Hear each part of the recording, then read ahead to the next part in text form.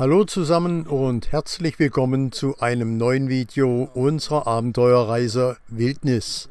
Heute dem Teil 2 unserer Erkundungstour über die Insel Senja im Norden Norwegens.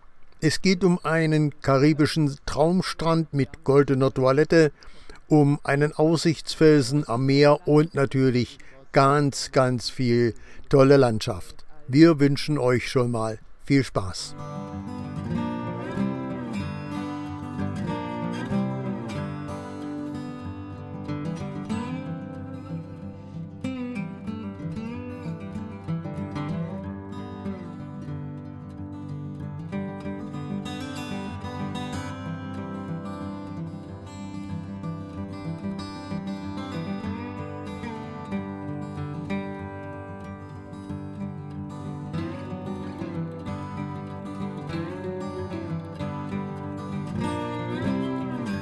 Nach mehreren Tagen Aufenthalt in Mefjordfair setzen wir über Senjahoben in den Ersfjord Stranda um.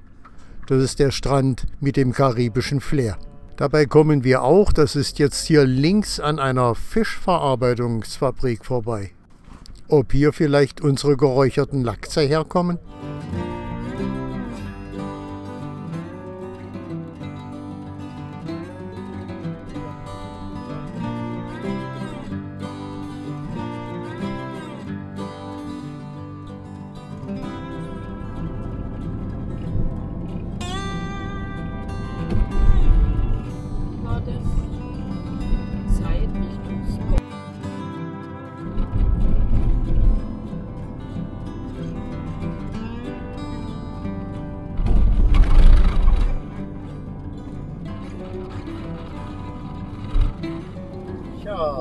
Damit haben wir den Tunnel verlassen, sind auf der anderen Seite des Felsens und vor uns wieder Meer.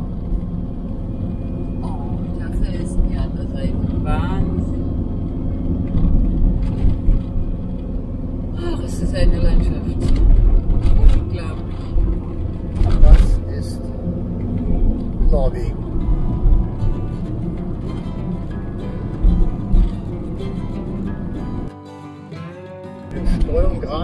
Neue Attraktion. Nee, neue Attraktion ist es ja gar nicht, aber für uns die goldene Toilette. So was soll es hier geben.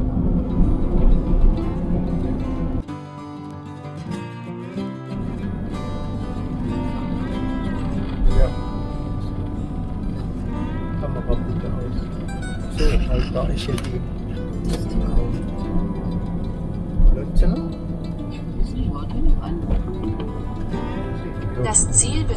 Auf der linken Seite. Und schaut euch das mal an, dass es hier bei uns hinten noch Luxus gibt. So, wir sind an unserer nächsten Destination hier angekommen. Der goldenen Toilette. Vor einer unglaublich tollen Kulisse. Der Parkplatz voller Wohnmobile.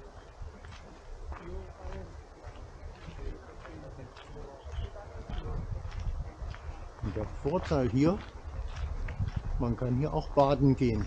Hat nicht so einen felsigen Strand wie drüben Melfjord.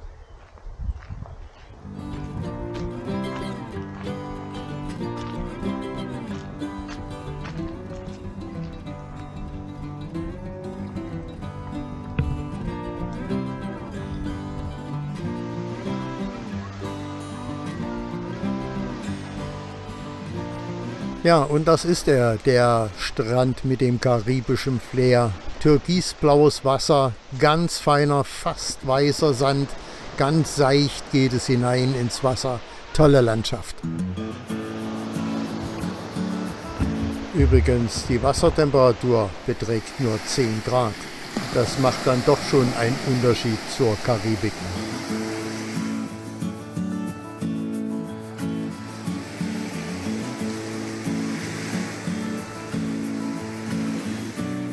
Und diese goldene Toilette bietet auch die Möglichkeit zum Duschen.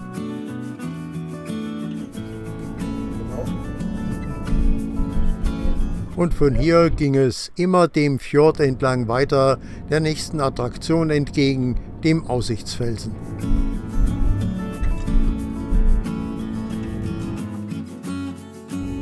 Ja.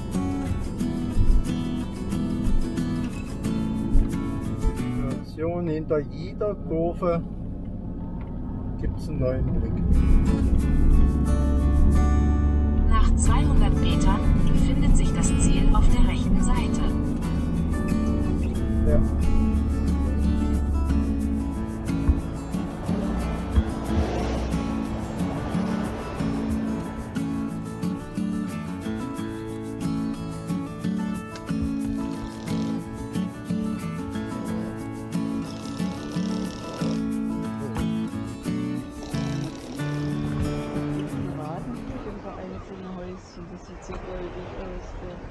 Ja. Spielzeugland. Könnte sein, dass wir da nachher langfahren. Guck mal, da ist der Tunnel drüben. Mhm. Das ist wieder so ein Fjord. Ja. Da war das ähm, mit, dem, mit der Badebucht, mit der goldenen Toilette. Und ja, hier geht's so rum. Ist das verrückt. ja. Oh, ist das cool. Ja. Wie vorhin schon gesagt. Senja ist vielleicht Norwegen auf kleinstem Raum. Ja, nun erzähl nicht immer dasselbe. Doch, damit das wie Es ist. ist einfach schön hier. Nicht zu toppen. Erklärt doch nicht immer dasselbe. Es ist schön. genau.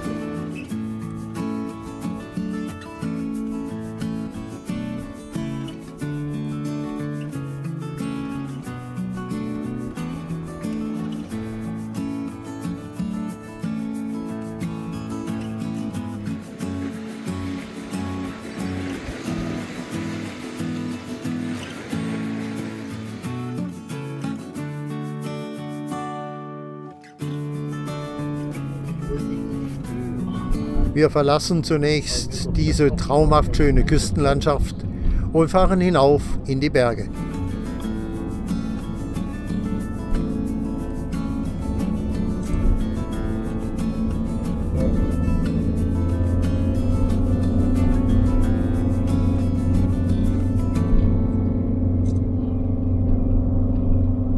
Doch den Berg hinauf.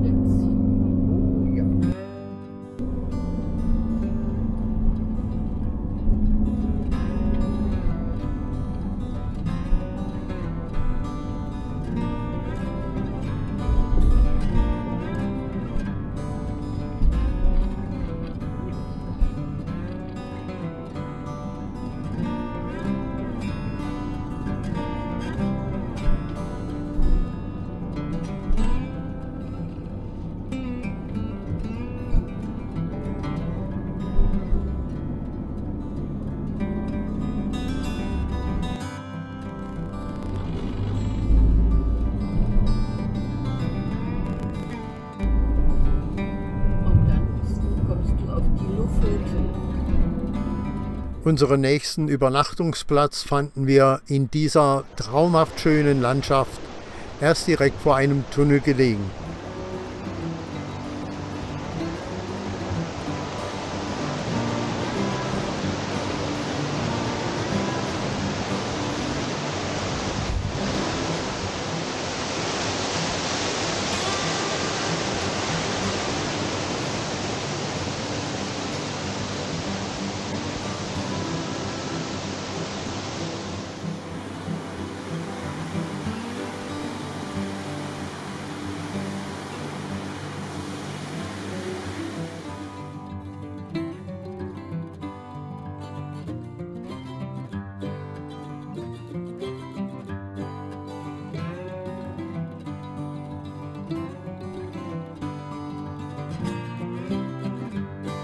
Am nächsten Tag starten wir bei dichtem Nebel. Tja, so schnell kann das Wetter hier auch umschlagen.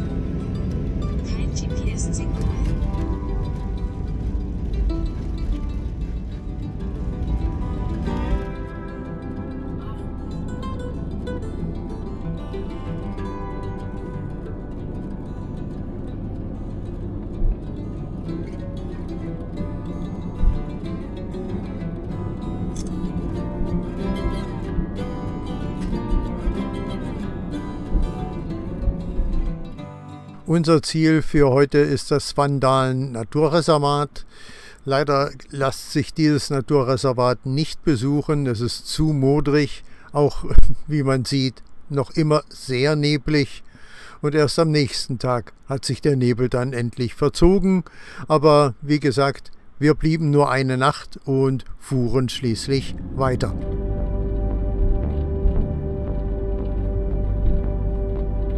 Unser Ziel ist ein Lost Place hier auf der Insel.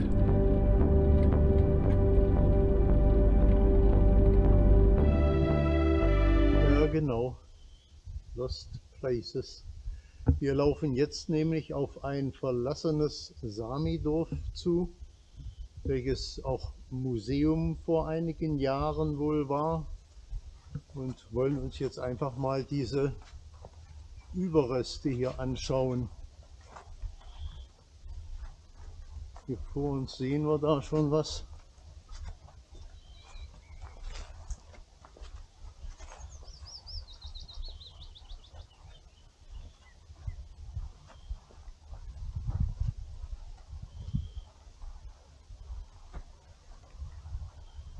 Sogar eine Gardine hängt noch. Zugemacht, zugemacht. Ja.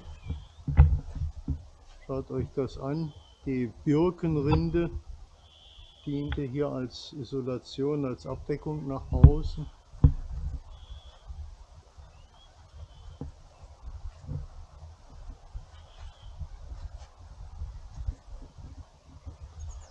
Schade, die Hütte ist eingestürzt. Ja, das ist alles nicht mehr in Betrieb.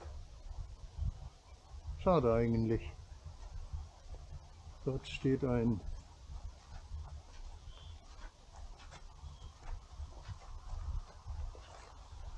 so typische Bauten, wie wir sie also auch in Abisko, das ist ja Schweden, wir sind ja in Norwegen hier, in Abisko gesehen haben, in diesem Sami-Museum dort.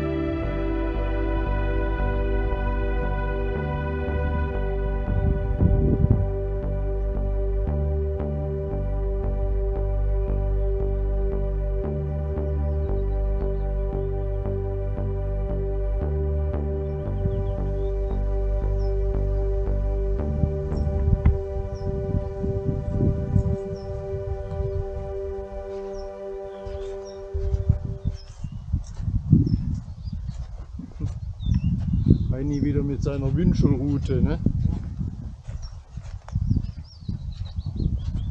Okay. Aber es gibt hier offensichtlich noch wesentlich mehr zu besichtigen. Ich glaube, vielleicht sollte man Senja tatsächlich noch mal besuchen. Die haben so viel zu bieten. Das kriegt man mit einmal nicht mit.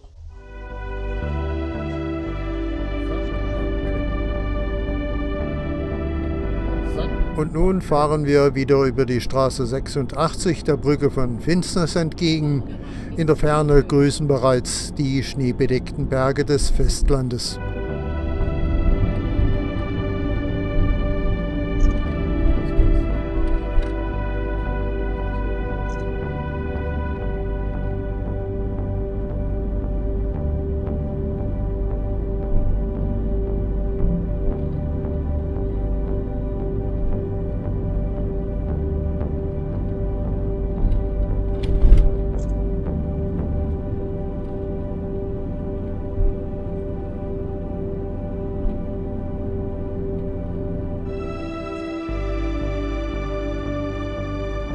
Tschüss Senja, müsste man so sagen, ne? Jo. Schade. Okay. Ja, tschüss Senja. Und damit verabschieden wir uns gleichzeitig auch aus dem Norden von Norwegen. Wir hoffen, unser Video hat euch gefallen. Wir sind damit nämlich am Ende unseres Styles 2 über unsere Reise hier über die Insel Senja. Wenn dem so ist, gebt uns gerne einen Daumen nach oben oder wenn ihr keine weiteren Videos verpassen wollt, abonniert am besten den Kanal. Wir haben noch einiges vor, sind noch nicht fertig mit Norwegen. Und ja, wir sagen zunächst erstmal Tschüss, bis zum nächsten Mal.